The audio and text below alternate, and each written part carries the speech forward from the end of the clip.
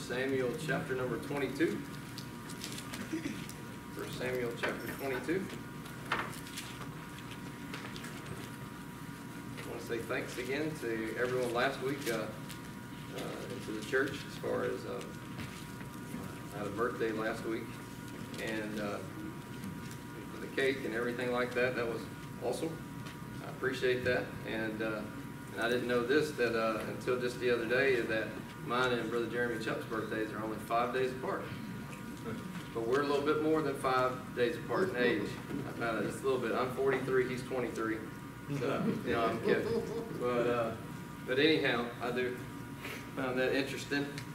And uh, it's interesting you find out the older you get, wow, there are adults that are a lot younger than you are. So But it doesn't bother me. It's good, right? Getting older is a good thing, right? So, uh, but anyhow, so we're going to be hopefully um, in two places tonight. Uh, Lord's help, and we'll go through this. Um, we've been going through the life of David, and as we've been not just going through the life of David, just walking through First Samuel, and everything we learned, and I've learned a lot from it, and we've seen a lot of different things.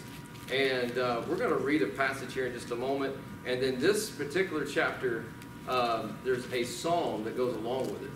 And with the Lord's help and me moving quickly, probably definitely on the second in there, uh, we'll get through part of that psalm as well. But I want to ask you a kind of a question. You see the title tonight is The Inhumanity of Humanity. And, you know, if you think about it, when you turn on the news or maybe you look at something online, you know, there are things that happen when people just act very inhumane to other people. You read about tragedies and things that have happened, and, and uh, I know there's different conspiracy theories, all different kind of stuff, but either way you look at it, the way that sometimes human beings treat other human beings and such a carelessness about someone else's life. Uh, I was just thinking of some various things, you know, when you think about uh, September 11th, and, and again, when you think about all those people that died, and then the whole idea of the Oklahoma City bombing, if you might remember some of that, and, and even if you go a little bit old school, a little bit like in my day, if you think about people, like if I say the name Jeffrey Dahmer, some of you might remember that, it killed many, many people. And when you hear about that and see those kind of things, where you see such tragedy and such terror, if you will, of, of people that are so careless and evil, if you would, in the treatment of other people's lives, it kind of makes you feel certain ways sometimes, don't it? Like, uh, I know exactly where I was, exactly what I was doing on September 11th, know exactly everything about it. And like I said, whatever you want to do and thoughts and theories of that, at the end of the day, people still have their lives snuffed out, either way you look at it. And when you think about the inhumanity of that, you know, what does it make you think? Sometimes it makes you feel fearful, right? You kind of feel a little scared. Maybe it makes you worried. Maybe sometimes it makes you angry, right? You may be more angry or different things. And you have all these emotions and feelings. And I want us to think about the idea of this is how do we respond to that? How do we as believers, when human beings are very inhumane, if you would, how are we going to respond to that? How, how are we to deal with that? Because let's just be honest, the Bible says evil men and seducers shall wax worse and worse. And, and if we continue to live, we're going to see a lot more stuff. I mean, definitely in our lifetime, you think about our kids and grandkids, some of the things that just because of how readily available with internet and television, I mean, things at your fingertips that you can hear about and know about now that maybe you couldn't know about 20, 30, 40 years ago. And I want to read this part of this chapter in 1 Samuel 22. Uh, last week we did the first five verses of it, and, and really with the idea of, of looking at David as he was escaping from Saul. And so just to let you know, in case you want to know where we're at, uh, David is full blown on the run now. So David's been anointed king. Saul is not saying, I like you. Saul's saying, I find you, I'm going to kill you. And Saul has really become mad and obsessed with destroying David. And we hear about this in verse number 6, and I'm going to read through these. And like I said, several verses here, but if you just follow along 1 Samuel 22.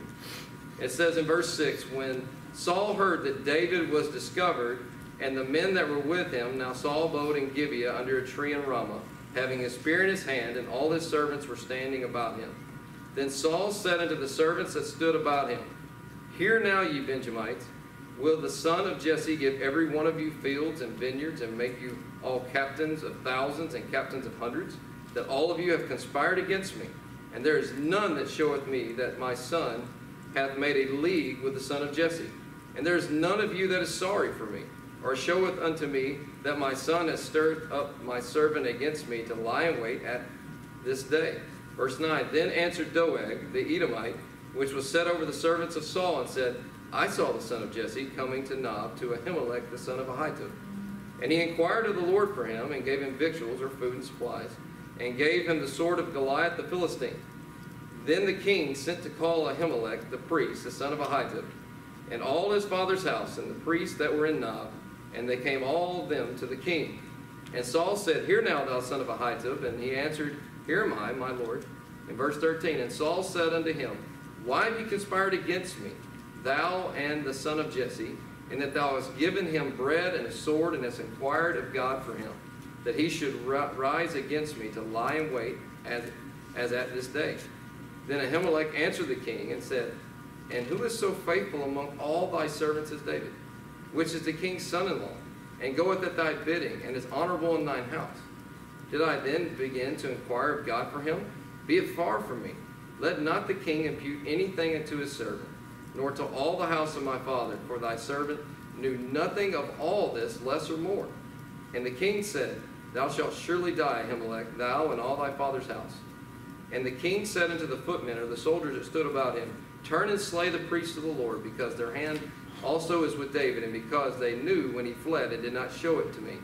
But the servants of the king would not put forth their hand to fall upon the priests of the Lord. And the king said to Doeg, Turn thou and fall upon the priest. And Doeg the Edomite, and he fell upon the priests, and slew on that day fourscore and five persons that did wear the linen ephod. And Nob, the city of the priest, smote he the edge of the sword, both men and women, children and sucklings, and oxen and asses and sheep, with the edge of the sword. Let's pray and we'll get into our study. Blessed be thou, Lord our God, King of the universe, creator of heaven and earth. And Father, as we look at your word tonight, God, we still want to praise you for all that you do. God, there are many times in my life that I do not know why things are happening. But God, I believe in studying scripture like this. God, there's lessons for us today about how you are sovereign and how we should continue to trust in you. I thank you, God, that nothing takes you by surprise. Father, I ask you tonight that you would be with us as we look at your word, as we study this tragedy. That, God, you would be with all of us. God, I don't know what's going on in the minds and hearts of the people in this room.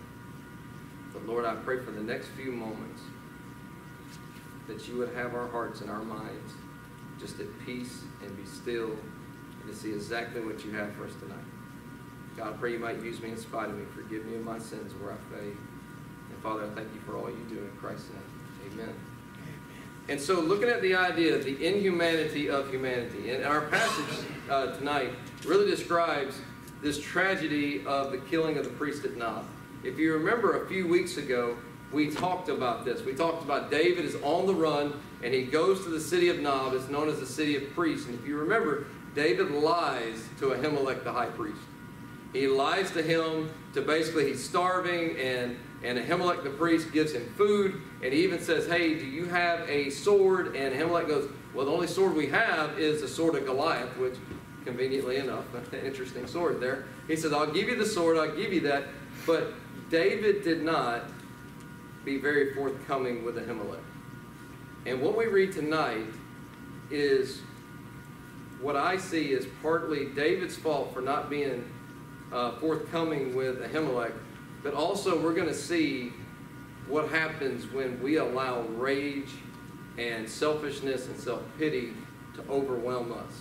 And as I said, we see in our society today, we don't even have to go to Scripture. We can look around today in our society and think, my goodness, how inhumane can you be about some of the things that you see happening and some of the things that we hear about today. And I want us to see this kind of this whole thing, and we talked about a couple weeks ago that eventually Saul was going to find out. And Saul ultimately, in my opinion, is really striking out against God, lashing against God when he does this. And I want us to see kind of in going through this passage quickly, because in Psalm 52, you get kind of David's response to what happens. Again, I just like to always preface it with this. I love reading Psalms, but Psalms are a lot better when you know the context of what is going on in the process. And so what happens at the beginning of this, in verses like 6 through 8, Saul finds out that David has escaped. And as he's found out David has escaped, Saul basically starts throwing a pity party for himself. By the way, have you ever thrown a pity party for yourself? Don't raise your hand. Okay, I like that. Don't raise the hand of somebody else. But you know what that looks like on the inside when you start to feel sorry for yourself and you start to kind of do that tantrum, so to speak. And you're going to kind of see here from Saul what it looks like on the outside when you start to have this big pity party and and the way he acts here in this. And and so basically, like I said, Saul finally learns that David and his men have kind of got away from him. And so what does Saul do to all the men that are standing around him? He starts accusing him, right? He starts accusing him. He says, There's nobody going to help me. Everybody's against me. The world's against me. Everybody hates me. It's kind of like, if you like Winnie the Pooh, Eeyore, it's kind of a person I love. Remember Eeyore? Nobody loves. Everybody hates me. Woe is me. Is Eeyore. You just want to go, you want to smack Eeyore is what you want to do, right? It's that mentality. Is that everybody's against me. But can I be honest with you? We can live our days as believers thinking that everyone is against us. And I'll be honest with you, I am not a very fruitful Christian when I run to self pity. And can I tell you, you're not either.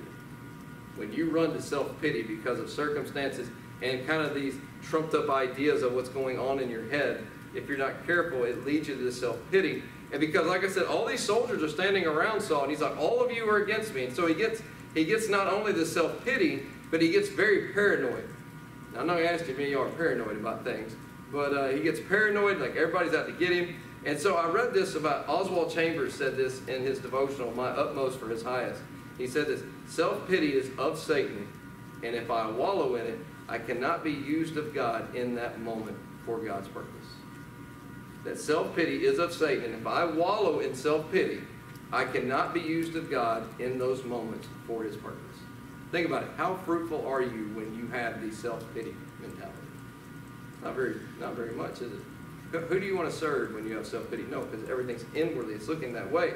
And so you see he has this mentality, and to keep going. So finally, in verse number nine, we see Doeg. And if you remember Doeg, and I remember thinking, what a weird name Doeg is, you know. And if you remember, Doeg was there. Remember, he was the guy that was there at Nob when David came back in chapter number 21 and he kind of listened and he's a traitor. And by the way, when you read in chapter 21 about Doeg, he just has that movie feel of like this villain coming on the scene kind of thing. And so Doeg speaks up and like again, he's the villain I think of this and says, hey, I know where the son of Jesse is. I know what happened to the son of Jesse. By the way, in that day too, what even disrespect that it was. He wouldn't even call David by his name. He called him the son of Jesse. That was a disrespectful title instead of calling them by their name in that situation. And so he refers to him that way. And so in this situation, you're sitting here with Saul has got this self-pity, this paranoia, if you will. Everyone's against me. And finally Doeg goes, hey, I see a chance for me to move up the ladder. I see a chance for something to, to help me out. And we see Doeg's ambition in what he tells him. He says, you know what? Your priest over in Nob, Ahimelech and the guys, they helped David get away from it. They're helping David. And as you see here, it just enrages Saul.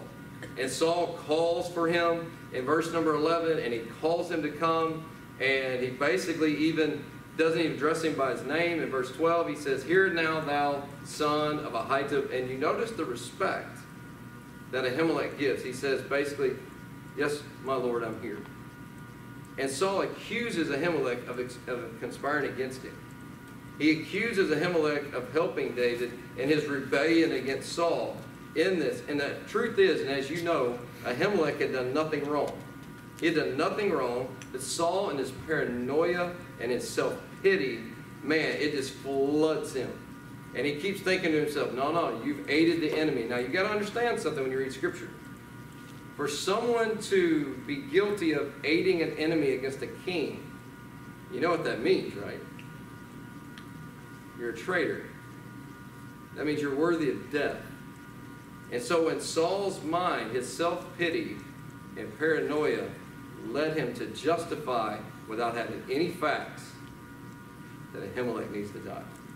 By the way, just a little side note, I think through this study tonight, there may not be one main nugget for you. There might be little things along the way. But can I tell you, something that this lesson has taught me is that when I go to self-pity and I get paranoid and I'm all focused on myself, be careful because I will justify things that I do without having all the facts. You ever jump to conclusions on something and only find out you are the big goober that, you know, it, it wasn't all right? It's all right. You can call yourself a goober, okay? It's all right. But you know, you think to yourself, you're like, and you get so angry and you get so frustrated because of this whole situation. And as we find out here, Ahimelech hadn't done anything wrong, and Saul is just going off rumor and hearsay. But Ahimelech's motives, I want us to understand something. He did not know David's intentions. He, David was not forthcoming with him. And Ahimelech, I find very interesting in his, um, maybe his motives here, they're pure. And when I see something here, I notice just kind of thinking about pure is in his motives. And, and I have this in my notes too, and thinking about Saul, it's a question I have. It says, Have you ever accused someone for no reason? Have you ever judged someone before learning all the facts? I, I'm not going to be too transparent here, but I'll just say, haven't we all, in one sense, looked at somebody, thought you had them figured out, to only find out later you judged that book totally wrong? And maybe, if we're totally honest, saw somebody, heard something about somebody, saw them, and then maybe even spread gossip to other people to change other people's view of somebody before you ever got to know them and know the truth. I think we all can say, oh me to that, okay? We love to say amen, but I think oh me is probably the better way of saying it in that. And so we've done that. And, and Saul here is so focused on himself rather than God, and this is be honest, it's pathetic self pity turns into accusations and even intimidation that he's coming at him here. And so Saul accuses him, and, and Abimelech, excuse me, Abimelech, excuse me, boldly stands up for not just himself, but David. If you would, look in, um, look at uh, verse number, make sure I get it right here, verse number 14. Okay? It says, Then Ahimelech answered the king and said, And who is so faithful among all thy servants as David? which is the king's son-in-law, and goeth at thy bidding, and is honorable in thy house.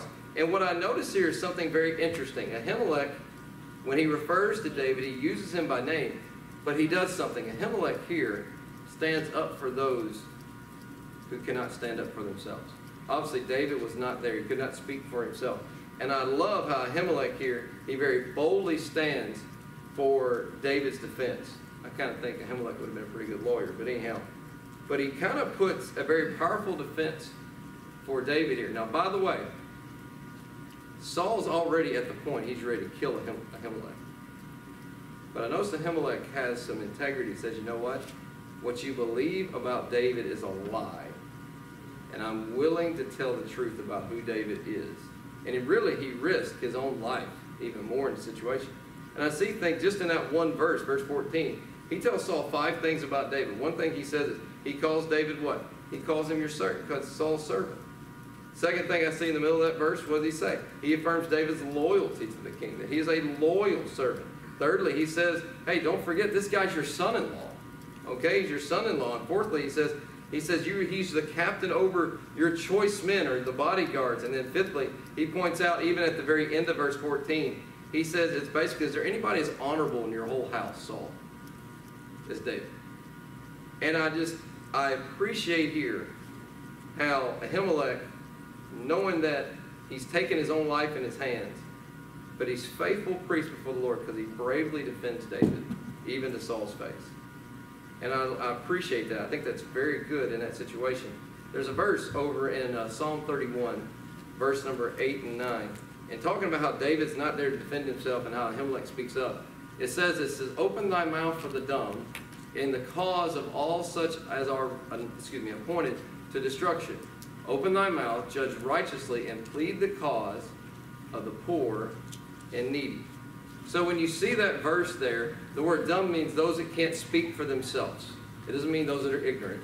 What it means is the idea there is speaking up for those who cannot speak up for themselves, to speak up to judge fairly. And that's what Ahimelech does here. He speaks up for David to judge him fairly. And I'll just tell you in this, and just like a little nugget again if you want to do it, is that I think in our lives we need to speak up for those who cannot speak up for themselves. We need to sometimes when you hear stuff about people, maybe instead of just jumping on the train and thinking it's all right and good, maybe we need to stand up to that person and say, hey, well, maybe we don't know what they're going through. Yeah, well, maybe maybe we don't know the whole story. Before we jump to conclusions, before we become the judge, juror, and executioner, maybe let's maybe let's find out what's going on for them. And the thing is in our life sometimes, I think sometimes we're so concerned about ourselves that we're willing to allow others to be destroyed just so we're okay. Because, I mean, if I stick my neck out for them, what are they going to think about me? You know, in that situation, I think it's just something good for us to remember.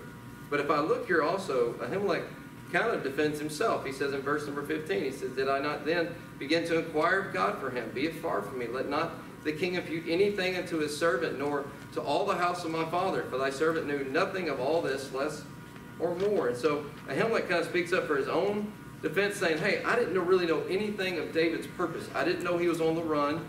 And says, I didn't know anything about the situation. He says, I am your servant, Saul. I have been your servant. But we see Saul here, even after Ahimelech finishes his defense, Saul now goes from this inward self pity, this outward intimidation, if you would, to what I call a striking against God, or this idea of a upward um, aggression, if you would. And I have in my notes here, once again, self pity can lead us to places we don't want to go. It started off feeling with self pity. And then what does Saul finally say at the end in verse 16? Ahimelech, not only you going to die, all your family's going to die, all these priests are going to die. And they're all innocent. He said they're all going to die. And then we read some of the, in my opinion, some of the most tragic things, things that you like see on the news that, that are tragic in these things. And Saul looks at his soldiers, his footmen, he says, kill them all. Now I've got to stop for one second and see something. I don't know if you noticed something in that passage. In verse 17, when Saul turns to his soldiers, his footmen, and tells them to kill him, what do the footmen do? Nope. Do you notice what Saul even calls Ahimelech? The priest of what? The Lord. He says, kill him, the priest of the Lord. And I see even in this the integrity of the footmen, of the soldiers saying, we're willing even to put our own lives in our hands to risk that because we're not going to touch God's anointed in that. And by the way, I think there's a lot to understand in that in our lives that we ought to be careful when we mock people and make fun of people because in a sense, when we do that, we're not just striking against them, we're striking against God when we do so. Remember, David said, against thee and thee only have I sinned. And so we see they're not willing to do it, and then they're like, we're not willing to do it. And then finally in verse 18, what happens? There's Doeg again. And Doeg finally, Saul turns to him and says, Doeg, he says, you kill him. And this was finally the opportunity that Doeg was wanting to promote himself. And what does it say he does in verse number 18 and 19? He kills 85 priests. Kills them all. Just slaughters them. This is not a war. This is not a battle. This is taking innocent blood, innocent life. In fact, it goes on and says, and he killed 85 of those who wore the linen ephod. The linen ephod there, by the way, was the official sign of priesthood. Like that was them set aside for that. So you see a massacre here. But I noticed something about Doeg. He doesn't stop at Saul's command. What else does he do? He goes on to not just kill them, but to go to the town of Nob, and he kills every man, every woman, every child, every baby, every bit of cattle, everything about it kills everything. Now, I find something interesting. If you remember back, I believe it's 1 Samuel chapter 13. What did God, through Samuel, tell Saul to do to the Amalekites? Kill them all, right? Kill them all. Remember, Saul didn't do that, right? He disobeyed God for selfish reasons. But God said to the Amalekites, kill them all, cattle, everything, do all that. And you notice how he did not obey that for selfish reasons. He did not do that to the enemy, but he did it against his own people and did it against his own town. And not just an own town, but against the priest. And can I tell you something about self pity? If you're not careful, self pity will have you turn on the ones that you love far quicker than you ever will your enemies. And they turned on their own people when you think about this. And this is just a side note, uh, and because I just like a lot of facts about that cool stuff. But if you remember in 1 Samuel chapter number 2, you remember Eli as the priest before Samuel? Do you remember what God told Samuel to tell Eli? Because of your sin, because of not restraining your sons, Hophni and Phinehas, that none of your house will live to be old men. This is a fulfillment of that prophecy. Very interesting how the fulfillment of that prophecy happened. And Eli told him that. Now, I want to tell you something. This prophecy is fulfilled in this killing of the priest of Nob by the hands of Saul and Doeg. But I want you to understand, just because the prophecy is fulfilled does not mean it was not unrighteous for Saul to do these actions. You say, well, hey, if it's prophecy, then obviously Saul and Doeg are greater, right? No, no, no. It's still unrighteous. It's still sinful in that. You want me to give you an example? Was it God's will for Jesus to die on the cross? Absolutely. Was it still evil and sin that the men that nailed him and killed him to the cross? Absolutely. It was a fulfillment of prophecy.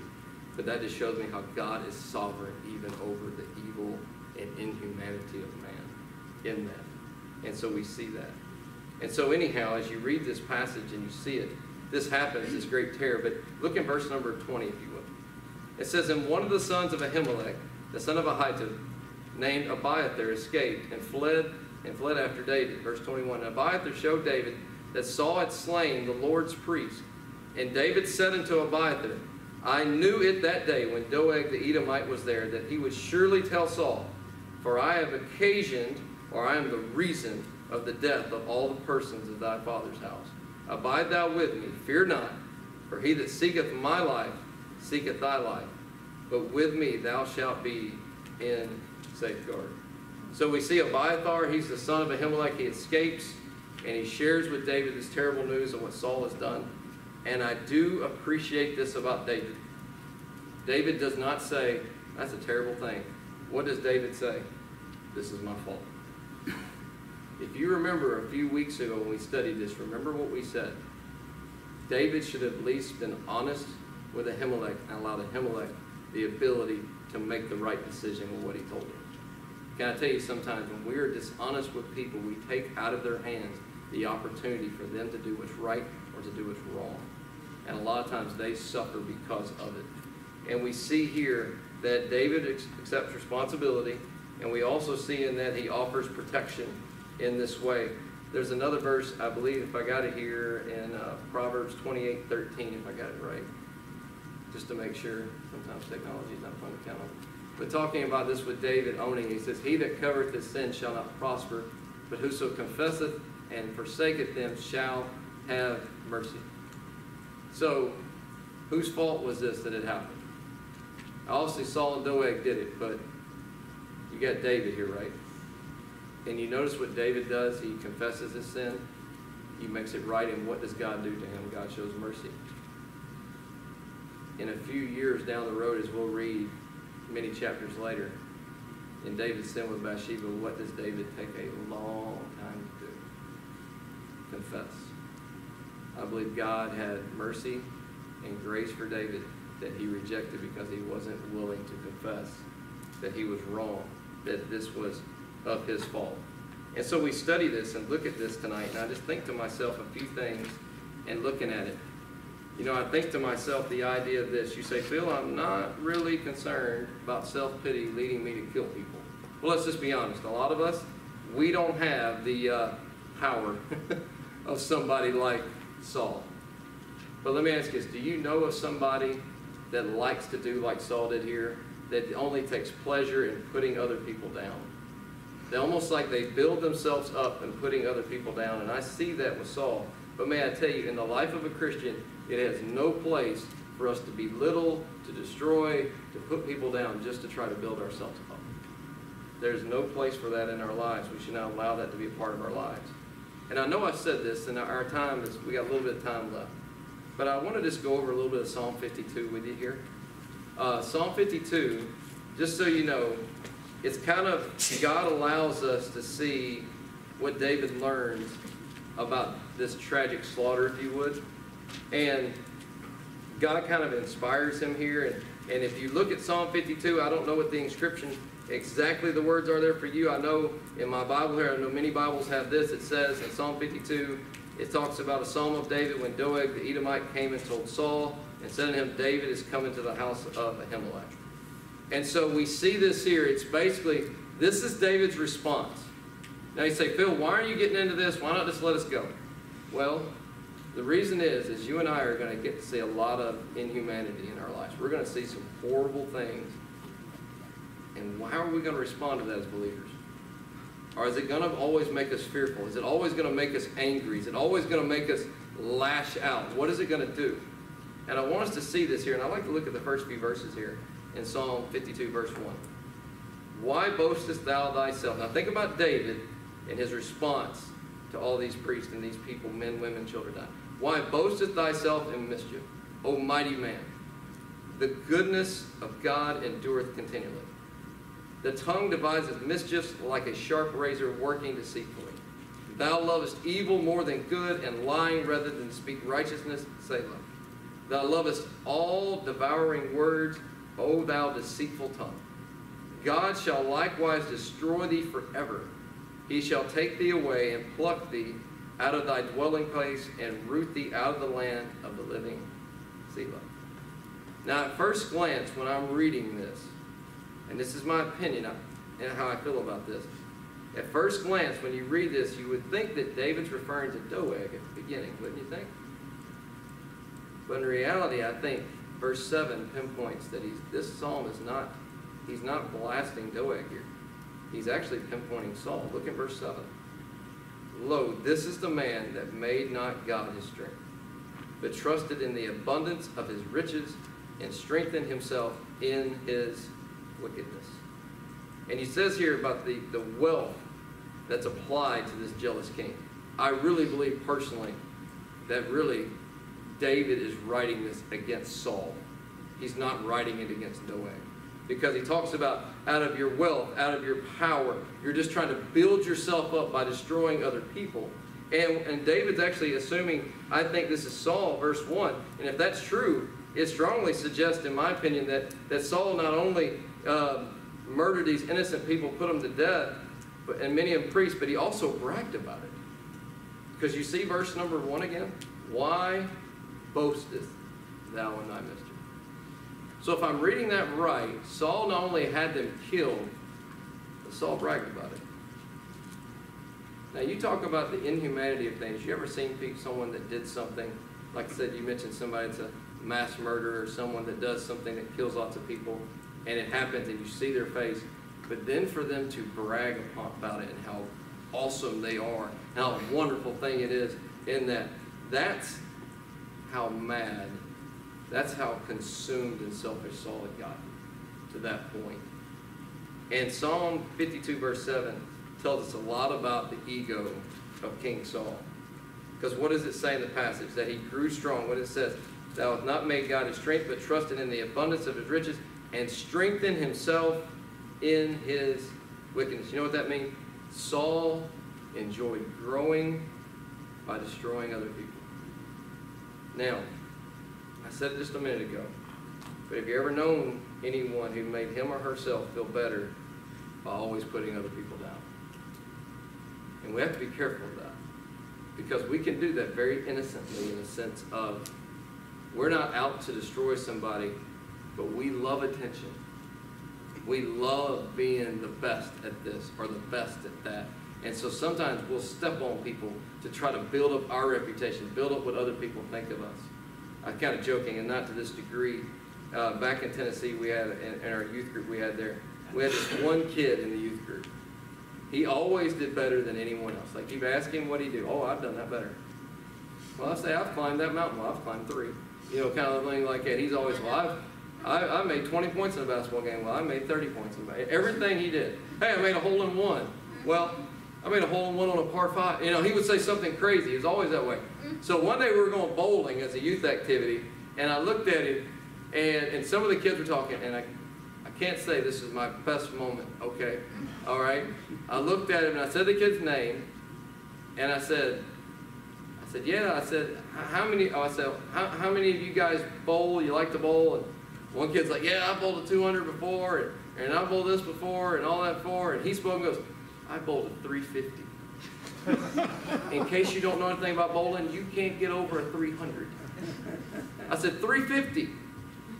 Then my flesh is like, well, it's time to bet some money, boss. But I didn't do that. Okay, let's use that, kidding. Didn't do that. I said, really? He said, oh man, I'll beat everybody here. I'll beat everybody here. I bowl a 350. Guy bowled a 67. Some of you are like, man, 67 sounds awesome. I would love to bowl 67. Okay? We'll have a bowling activity or whatever, okay? But what it was, this kid was, now listen to me on this part. He was so grossly insecure about himself that he had to tear others down to build himself up. And can I tell you, whenever we have to tear down other people to build ourselves up, it just shows how insecure we really, really are. And if we're not careful, we all can run to that. You're saying, Phil, I ain't going to run to no place where I'm killing 85 priests and all. I get it. But David says you're, you're strengthening yourself by destruction, by tearing other people down. And that insecurity can get us that way. And I don't want us to miss, and I know our time's up, a very wonderful lesson in verse number 8 of, that David says in Psalm 52. He says, But I am like a green olive tree in the house of God. I trust in the mercy of God forever and ever. Now remember, David's still on the run. He's in the forest of Arah here. But even on the run, and David not even knowing where his next meal is, David knew that in comparison to Saul, he says, I'm going to grow in the house of God, and I'm going to trust forever in the mercy of God. Even when things are unimaginable. And I close with this tonight. When I look at this passage of Scripture, and looking at how does David respond in the face of tragedy? this gross, inhumane tragedy. I think there's some things we can get from it too. I see, and I'll just get into it, we'll be done, our time's up. First, I say he places blame where it should be placed. Verses 1 through 4, he blames Saul, and he blames evil, and he blames sin. When we see things happen, we need to put the blame where the blame needs to go. Okay? But secondly, I see he reminds himself that God will repay. Verse 5, he talks about that. That God will repay. It goes really great what we looked at this past Sunday morning, right? Romans 12, 19. Vengeance is mine, I will repay, saith the Lord. That it's not for us to have vengeance, that God will do that. But I see the other thing about it is that he places hope solely in God. You see that in verse 9 where he says this. In the midst of all that tragedy, he says, I will praise thee forever because thou hast done it, and I will wait on thy name, for it is good before thy saints. And that's what he does. The last thing I have there is that what does he do? He reminds himself that God is good. Look what he says in the verse 9. For it is good before thy saints. And it's kind of a different lesson here because I don't think we're going to see a lot of this. But I'm telling you, we live in a day and age where we're going to see a lot of the inhumanity of humanity. But we have to respond differently than the world. We definitely don't need to respond like a Saul. We don't need to have that insecurity. We don't need to have that self-pity that can lead us to doing things and justifying things that just aren't true. We need to be like David here in the midst of that. Hey, if we need to own it, own it. But we need to put blame where blame is, and we need to remember at the end of the day, God is sovereign. And by the way, I am grateful every day for the sovereignty of God. Aren't you glad there's nothing that will happen in your life that God does not know about and it's not part of his will to make you more like him. Doesn't mean you're going to enjoy everything. A lot of things that God does to make me like Christ that I'll be honest, I do not enjoy. But no one really likes enjoying running and doing all working out, doing those things at the beginning, do you? Because it stretches us, it makes us more like him. But at the end of the day, we need to remind ourselves in the midst of all kinds of tragedy that God's still good. God's good. And that God is for us as believers, and nothing shall separate us from the love of God. Hebrews 11 11 says, talking about Sarah, that what when she was told that she would have a baby even in her old age, and she says, and she counted him faithful who had promised. that in the midst of all you face, that God's still faithful and that God's still good. And so again, like I said, I don't know exactly what all you might take from that tonight, but maybe if nothing else, let's just figure out, let's respond to tragedy in a way that would please God. And we see a way here out of Psalm 52, and God just happens to call David a man after his own heart. Let's stand together and we'll close in prayer. By the way, don't forget about our sign-up list for our uh, VBS stuff there in the back. Father, we thank you again for the day. We thank you for all that you do for us. And, Father, as we read this story, and it just seems such a terrible story, but God, honestly, we see a lot of this in our daily lives. We see people who seem to be unruly, and as, even as the psalmist says, why do the heathen rage? But God, we thank you that you're sovereign, that you're in control, and God, you're still good no matter what happens. And God, help us to respond in a way of trusting you, faith in you, and not questioning you, even when we see things happen that we just don't understand. Thank you for all you do for us in Christ's name. Amen. God bless you. Thank you for coming.